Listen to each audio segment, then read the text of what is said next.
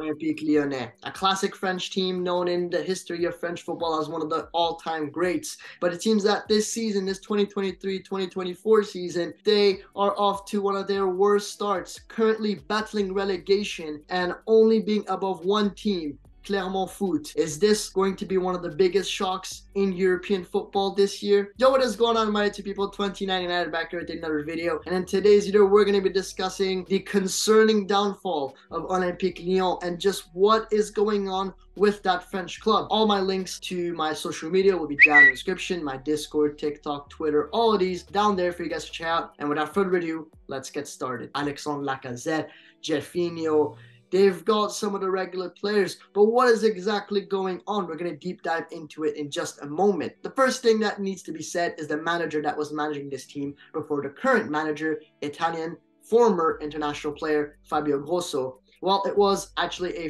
former French international and one of the all-time greatest defenders in football history, Laurent Blanc, who just had a horrendous start to this season's Lyon campaign. And thing we have to say is, is it already too late for them to even reach a spot in Europe? Most probably. They have been just horrendous. They have not done anything worthwhile. They haven't done anything that is really hopeful for the fans.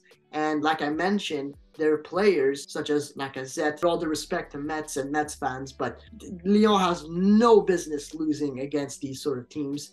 They are always a team that's, you know, regularly in the top five or at least should be in the top 10 as of now, but they're battling relegation. They're this close of just being completely last. This is one of the biggest shocks in European football as of now. I haven't seen too many people talk about it. It's very concerning. Laurent Blanc, like I said, has done a, like just a horrendous job with Lyon. I think he himself admitted that he needs to get sacked. And when he finally got sacked to now be replaced by Fabio Grosso, it all begs the question of, well, Will Fabio Grosso be able to pull this Lyon team back into the realm of reality where they actually start getting up points? We're gonna have to wait and see. But it just seems that their misery just keeps on going. They keep losing or tying games, really games that they should be winning on a regular basis. Eh, Did they need new players, or is it the board? Is it the whole managerial situation?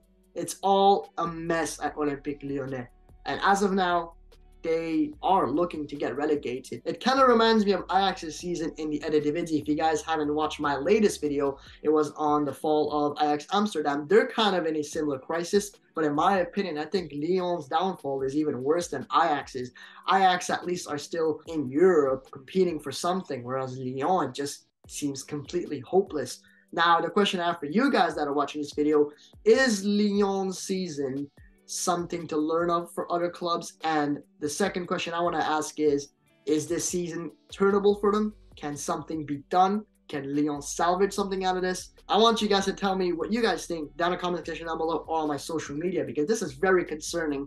Could uh, well ahead and be one of football's biggest disasters when it comes to French football or European football in general. So let me know what you guys think. I'm very intrigued. I haven't seen much opinions on this. I know Lyon fans are going through a lot, and it's it's sad. It really is. You know, they personally spoke to the, the fans on the pitch. The ultras were there saying, "What are you guys doing? You guys need to wake up." Doesn't seem like it's working. Lyon fans, I really do feel bad for you. You deserve better. Uh, the players need to do better. The managers need to do better. The board needs to do better because we are witnessing the downfall of a huge club, and it's just sad to see. That's where I'm going to end it off. Let us know if you guys are new to the channel. Please make sure to subscribe, like, it helps the video and my channel a ton, as well as join me all on my social links down below for you guys to check out. And that's where I'm gonna end it off. I'll see you guys in the next one. Peace. Damn,